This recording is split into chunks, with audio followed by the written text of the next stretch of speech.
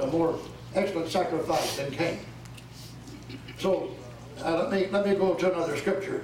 In hope of eternal life, Titus 1 and 4, which God, who cannot lie, promised before the world began. Now, Hebrews 6 and 19. Which hope we have as an anchor of the soul, both sure and steadfast, even that which entereth in within the veil. That's faith. The anchor is hope. Going beyond the veil is faith. Because faith becomes a substance that you see Christ who goes beyond the veil of the flesh. And you just don't see the crucified Christ on the cross, but you saw the Christ that got the victory in the garden. Amen. People worship the crucified Christ on the cross and never understand the Christ in the garden that said, Not my Father, not my will, but thine be done. Yes. Because there's a real revelation right there. Yes. Oh, he didn't accomplish anything on the cross he didn't finish in the garden. That's it. Amen. When, did you get that statement? Yes, sir. I said he didn't accomplish anything on the cross that he didn't finish in the garden. Amen. Amen. Amen. Great drops of sweat, as it were blood, appeared upon his face. Right. Oh, Father, if it be possible, let this cup pass from me. Boom. He went into faith, the substance. He knew his father would do it. He knew that his father would give him the strength. He said, Nevertheless, not my will, but thine be done. Know what he did then? He went back to his disciples and quit troubling them about sleeping. Notice the third time, he went back, and he didn't go back to the disciples and say, sleep on. Went back and said, could you not watch for me one hour? He was tormented. He was tried. After he got the victory, he went back and he said, uh, sleep on now. Sleep on, because I don't, I don't really need you. I don't need your comfort. There's no sacrifice on the lamb. There's no water on the lamb.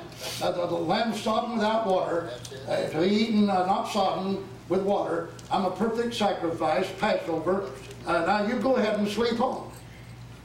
Did you know that same thing happens in me?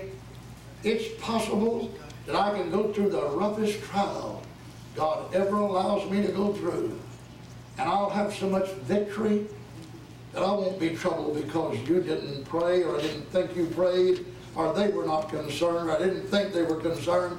It will be all right. It'll be all right. I want somebody to, I won't, I won't be wanting somebody to water me. That's all right, child. It's okay. It's all right, child. It's all right. Whether they say it or not. Whether anybody even calls me or not whether anybody speaks to me or not. I'll feel the victory. I'll know it's not my will, but His be done. Praise the name of the Lord. Because that's faith in action with hope. Hope we have as an anchor of the soul.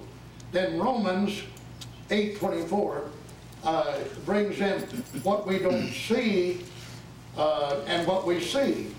And verse, uh, verse, let me go down to 20, uh, for we're saved, verse 24 of Romans 8, for we are saved by hope. But hope that is seen is not hope. For what a man seeth, why he yet hope for? But if we hope for that, we see not. Then do we with patience wait for it. Because hope that is seen is not hope. But when I don't see it, but I wait for it by patience because I have faith, I have a substance that I know God is going to provide it. God's going to make the way. It matters not what men say or how they say or what they don't say. I know God will provide. I know He will satisfy. I know He will supply. And so hope is a wonderful thing, but you have to have faith with it because faith is a substance while hope is a desire. Faith is a substance to know that you're going to achieve, you will be rewarded, you will attain because you have a substance. How do you know that? Because you know it. That, that's why in Romans, uh, let's, let's go to Romans uh, 5. Romans 8, but let's go to Romans 5. Therefore being justified, verse 1, Romans 5, therefore being justified by faith, we have peace with God through our Lord Jesus Christ. So hope doesn't justify you, but hope can save you to get to substance. Hope can save us to get to substance.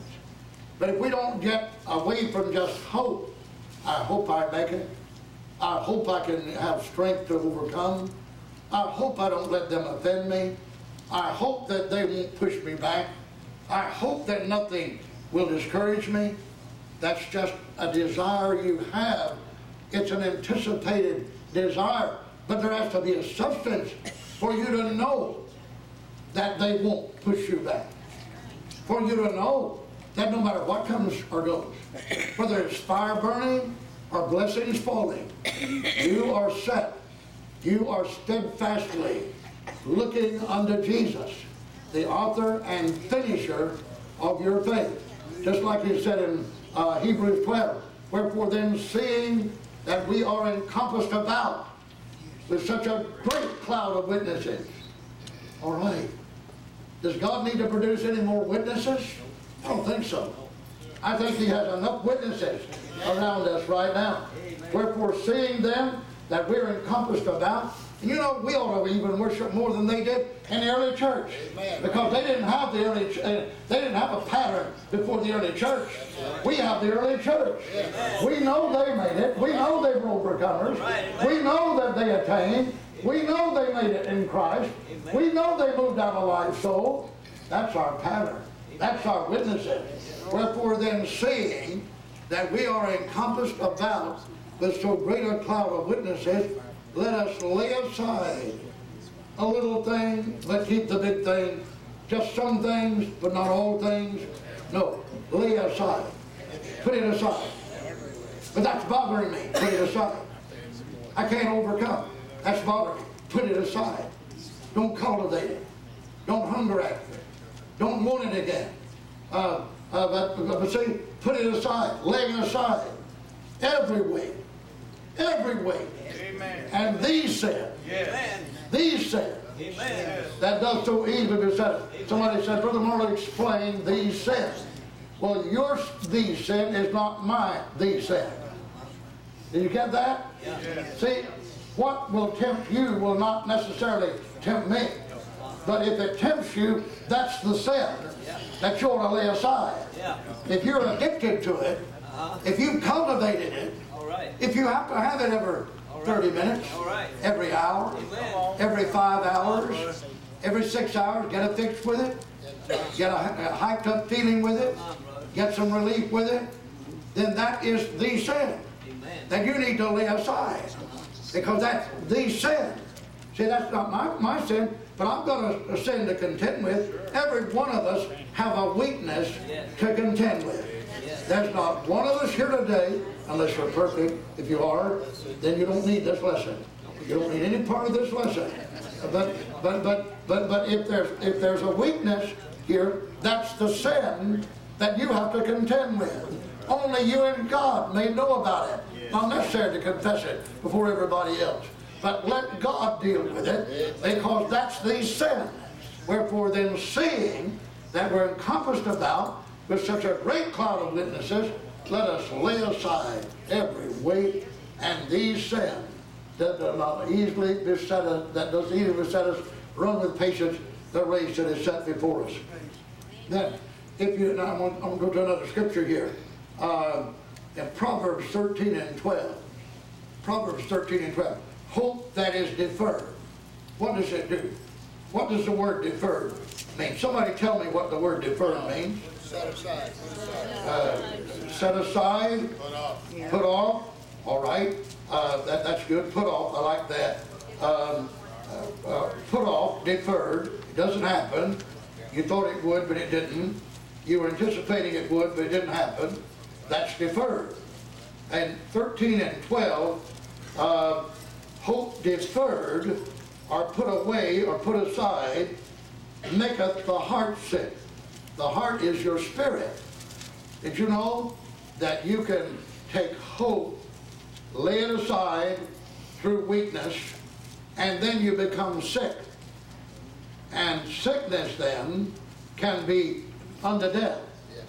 There's a sin, the book of John said, John 5, 1 John 5, said there is a sin unto death.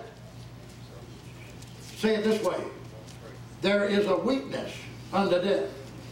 See, uh, some sins lead to death because that weakness finally becomes hope deferred. What happens when you and I no longer can hope that we're going to make heaven our home? Hope that I can love you. You can love me. Hope that God will keep working with me in the body of Christ. Hope that I'll keep the right spirit. Hope that I'll be like Christ. What happens when I begin to lose that feeling I can be? I can be because I know I'm not. I know I'm giving in. I'm giving over. I'm giving under. Uh, and I, I let that overcome my hope. Hope deferred, put aside. Uh, I watched that happen in the ministry. I watched men that were called in the ministry because, uh, see, every man that's called in the ministry make a statement, I've got elders around me, I've got ministers, I've always reared up ministers in my ministry. I have ministers all over the United States They're pastoring churches. Uh, uh, that, that came up under the ministry God gave me. Uh, I watched men, uh, and, and I've studied men, I've studied myself in the ministry. Uh, here's, here, here's an area, hope deferred, uh, in the ministry, uh, or a gift. It may be in music. It may be in a calling in the church. And because it didn't break open when I thought it would, because it didn't come to the front when I thought it would, uh, because of that, I would lay it aside. I would lay my hope aside that it would ever be used of God in that gift. But I want to say something to encourage everyone here, everyone. I have learned this in my lifetime. Not one thing that God wanted me to do came to pass before God would allow it. Not one thing not one action, not one ministry, until the Lord said it's time. Oh, but I waited and waited and waited. I did too. I had a lesson on that when I came back to Bradenton here to uh, receive this church. And I thought I was coming from uh, Lawton, Oklahoma, uh, the discharge there of the Army, went hurried home, uh, got the wife, didn't stay in Illinois but a few days. Had to get to Bradenton. Had to get to Bradenton. I didn't even take time for us to take a vacation. I'd been going overseas 13 months. Uh, she and I had been separated. And I came home, jumped out of an Army uniform, jumped into the car, discharge in hand, rushed to uh, Illinois, said, we're going to Florida. I have to pastor a church. Well, I got down here, and guess what happened? When I got here, Brother Roberts sat here, and I sat down here. And I thought, Brother Roberts, you know I'm your son in the gospel. You know that I've come home to pastor this church. I passed one up in Illinois, congregation waiting, because you said come here. Brother Roberts never gave a hint, never even acted like there was anything in line for that ever going to be. Uh, uh, in fact, uh, everybody received the offering, everybody closed the service, everybody announced, everybody did, and I sat there. He said, I said, Brother Roberts, what do you want me to do? He said, get a job, go to work. and so I said, that's what you want me to do? I had this dream I was going to pastor the church, going to look after. Uh, and, and so I did that because I didn't defer my hope because I knew that God had spoken to me. Now, if you know that God has spoken to you, that's all you need to know. All right. Amen. Amen.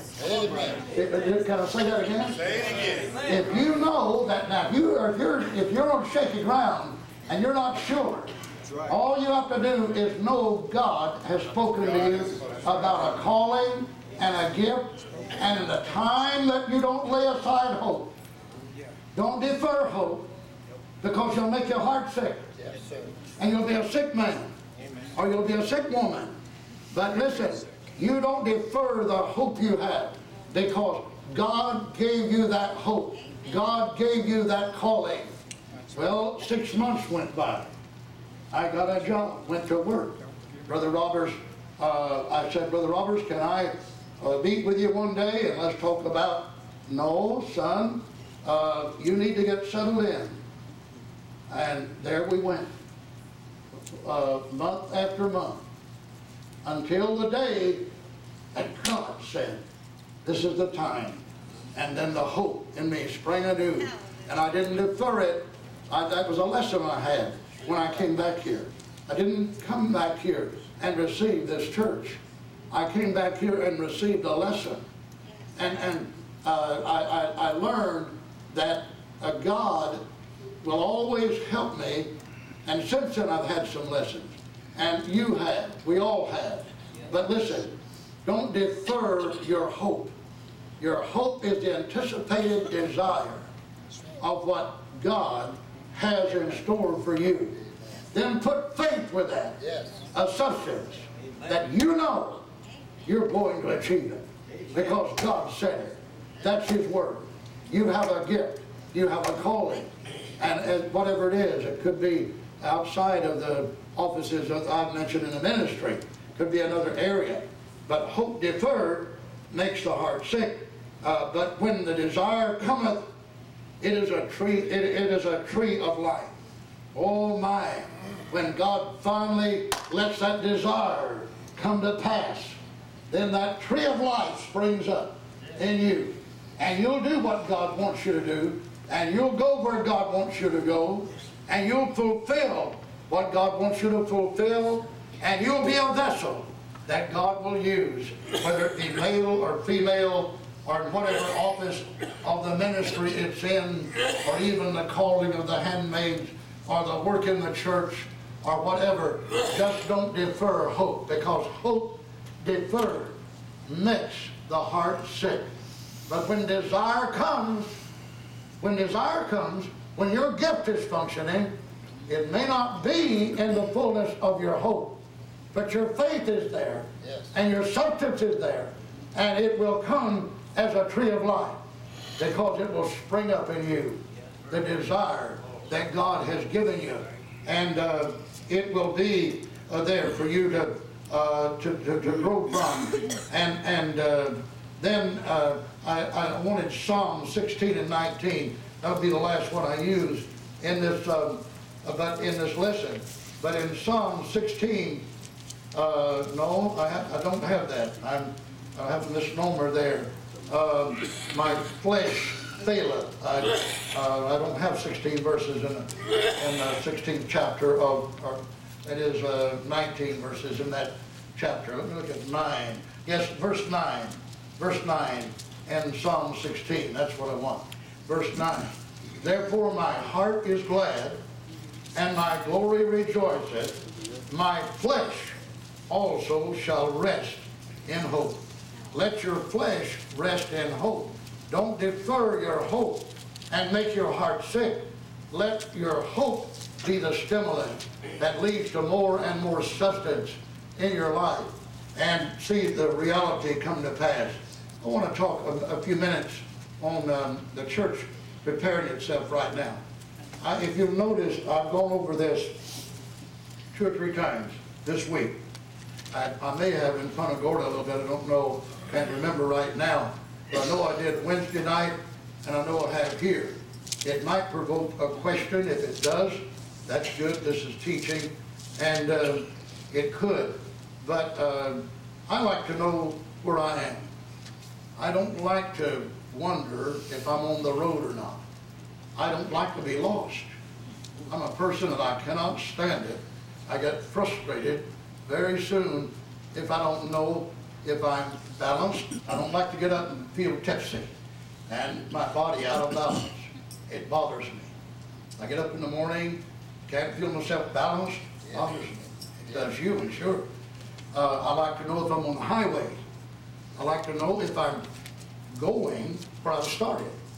I like to know if I'm making progress. Uh, I'm that way spiritually. I, I like to know. The only way I can know is two things. The relationship of the Holy Spirit, the Holy Ghost in me. And the other is the Word of God. This is the roadmap, and then I have the GPS system in me. This is the roadmap, and I have the GPS system in. All right, amen. Praise the Lord. You know what GPS is in the Spirit? It's God's spell over you. All right. You get your spiritual GPS Praise the working Lord. and have God's spell over you, Praise the Lord. and you'll know where you're going. And then you won't get frustrated. See, Jesus didn't get frustrated after he came back to his disciples, and he said, I have the victory, boys. You don't have to comfort me. You don't have to go ahead and sleep. Sleep on now. Take your rest. But before that, he was waking them up. Woke them up twice.